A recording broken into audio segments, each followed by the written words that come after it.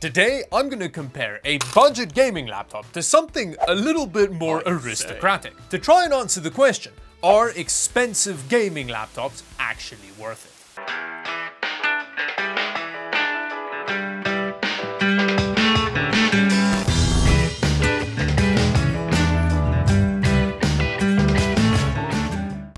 The budget gaming laptop for today's comparison is the cheapest gaming laptop that was available at my local Best Buy, and I paid about 800 Canadian dollars for it. It is this HP Victus thing. Laptop names are weird, Victus could mean many things, but this is one of them, I guess. But its cheapness isn't the only reason I found it interesting. It's got like the loser version of the Oligarch laptop's hardware configuration in it, which I think makes for an even more interesting comparison. CPU-wise, we've got a Ryzen 5 7535HS in there, and then the GPU is an RTX 2050, a budget gaming laptop GPU I haven't really seen around much, but I'm pretty interested to check out. It may be interesting enough to warrant its own dedicated video, but we'll see how it goes later in the video performance-wise. The rest of the specs, aren't great. We've just got 8 gigs of RAM, which really isn't a lot for gaming these days. And they don't mention the refresh rate of the display, which that's a little bit concerning. Now when it comes to the big boy gaming laptop, Asus Canada very kindly sent over one of their new Zephyrus G14 gaming laptops, which according to the Asus eStore costs 2,200 US dollars, which is quite a lot more than 600 US dollars for a gaming laptop. And for our significant additional investment, CPU-wise, it comes with a Ryzen 9 8945HS, an 8-core 16-thread monster of a CPU. I recently had a look at the previous generation version of it, which is basically the same CPU, in a mini PC, and it destroyed benchmarks. Real powerful chip which is paired with an RTX 4070. So just there, we've already got way more power than the little HP laptop. We also get more RAM and storage, but one of the real interesting things is the display in the G14. Ooh, the display in the G14, which we'll get to a little bit later. So with that, let's get to what I guess is the second category of comparison. How much better build quality are you getting from a $2,200 laptop compared to a $600 one? Now it's pretty easy to summarize the build quality difference between these two laptops. When you open up the HP for the first time, you go kind of like, ooh.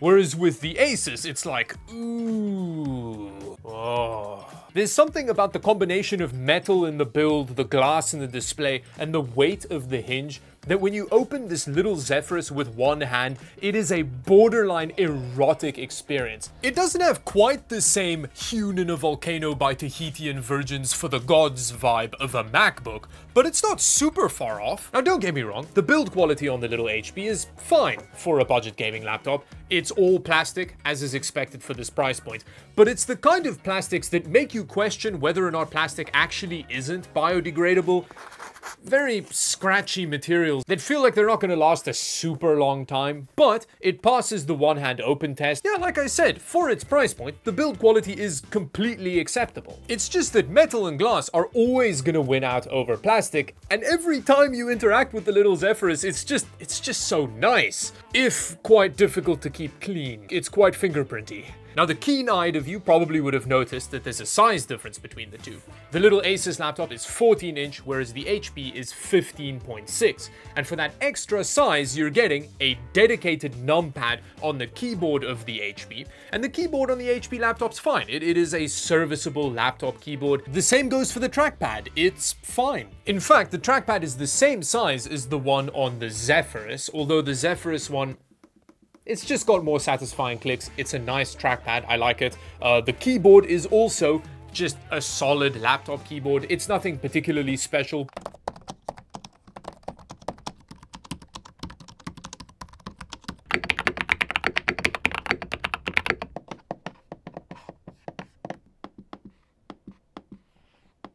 But the most important thing we get for our additional $1,600 is a dedicated power button that's like in a funky triangle shape, as opposed to a power button that's just hidden among the F keys. Another important point of comparison is I.O., where for all of your extra money, you're getting an additional Type-C port, and for some reason losing a full-sized SD card slot. I don't know why, but this just has a micro SD card slot on it, which is something that annoys me for some reason. However, the Asus does have a huge advantage most of its important I.O. is on the left-hand side of the device, which means you can plug a whole bunch of stuff into it without cables getting in the way of your mouse hand. Whereas with the HP laptop, the HDMI port and the Ethernet is on the right-hand side of the device, which is a real pet peeve of mine with laptops because it, it just gets all cluttered on the side your mouse needs to be. Very annoying. Webcam wise, there's a very big difference between these two laptops. We'll also hear what the microphone sounds like on them for like web calls and stuff.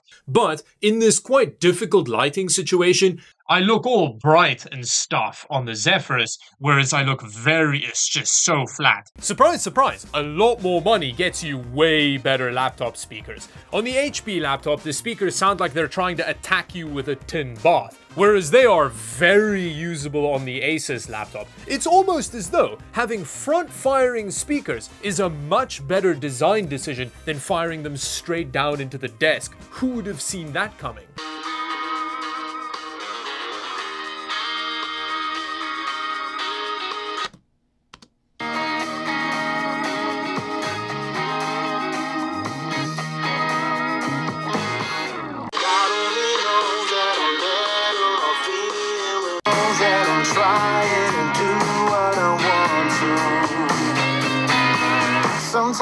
On that song that I use, there's like a bass guitar riff, which the HP laptop can't even reproduce. It's too low a frequency for it to make, whereas the Asus laptop, it just does it confidently, no problem very good speakers on this laptop. Next, we need to diagnose what strains of herpes these laptops come pre-infected with. And I don't think any of you would be surprised that both these systems are as diseased as the communal PC at the local nursing home. The most common strain McAfee is ever present, but both these laptops have a whole suite of software that launches every time you boot it, slowing down that process quite a lot, and yeah, they barely have enough RAM just to load all the bloatware on them. You really have to do a fresh Windows install on pretty much any gaming laptop, because the manufacturers really load them down with crap. But with that, before we get to the gaming performance, I do want to talk about the displays on these laptops. Because the 14-inch high-resolution OLED in the Zephyrus does things to my undercarriage. The combination of the absurd measurements with the inky black levels of OLED and the glass front, which isn't prohibitively reflective on this display,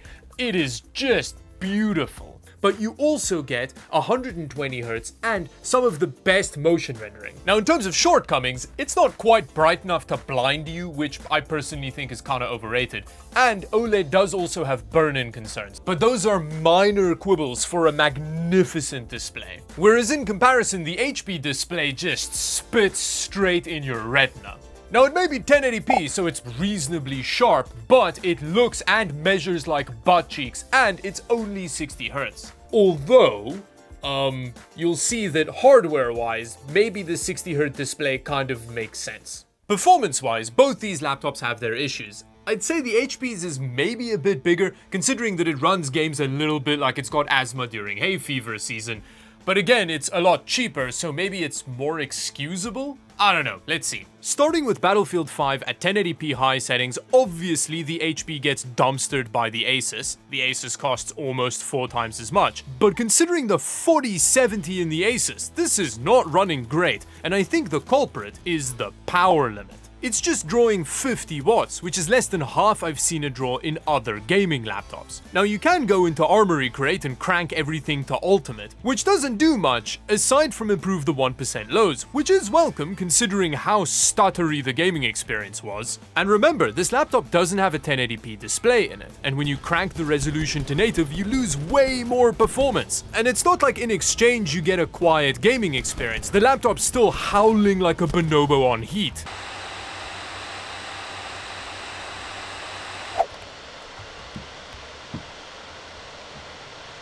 Interestingly, the HP was running a decent bit quieter, but it was much closer to spontaneous combustion. Moving over to CS2, we've got a similar performance gap between the two, but because of the much higher frame rate, things are looking better, I guess, for the HP. But it still has a 60Hz panel, so esports titles don't feel great on it. With a more demanding game like Cyberpunk at 1080p high settings, the Asus laptop starts to extend its lead quite a bit. Granted, these are quite aggressive graphics settings for a budget laptop, but it helps illustrate the performance difference between the two. Interestingly, on the Fancy Boy, going from 1080p to its native resolution costs you about half your frame rate. And when it comes to the temperatures and noise, you can really see why they had to shackle that 4070. And finally, The Last of Us straight up refuses to associate with the budget laptop because of the whole RAM situation. When it comes to CPU performance, you're gaining over 3000 Cinebench multi-core points for your extra money. And a decent step up in single core performance, which I wasn't really expecting to this extent. But with that, let's get to one of the final points of comparison, upgradability. Both laptops are relatively straightforward to get into, and conveniently, both of them also have their own quirk. The final tug on the HP feels like you're shattering some of its vertebra. Oh! And the Asus has its final two screws hidden under some little rubber grommety things. Yeah, they do that very fun thing where they hide screws under little rubber grommets. Oh, oh no. So the only things that are upgradable in here is the storage, but there's just a single M.2 slot, which I guess is forgivable for the form factor. Uh, then we can also replace the Wi-Fi card and the battery looks pretty easy to deal with. But the RAM is soldered down! Asus, come on!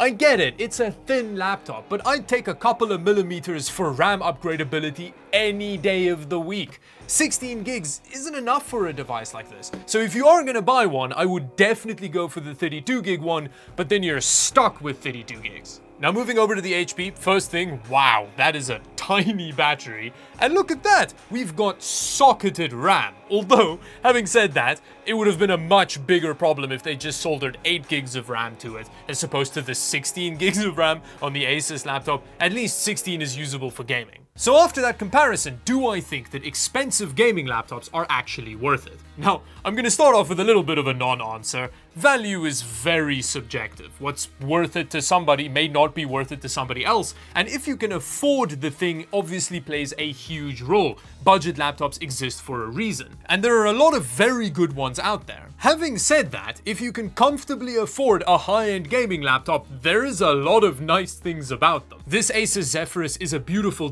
device, although I have not forgiven Asus for soldering RAM down onto it. Again, I understand the form factor, but why do you have to do stuff like that? Naughty Asus. Anyway, moving on. A nice gaming laptop is just so nice to interact with, and I feel like, within reason, high-end gaming laptops are some of the tech things that do more to justify their price premium, even if they do still howl like a jet engine under load.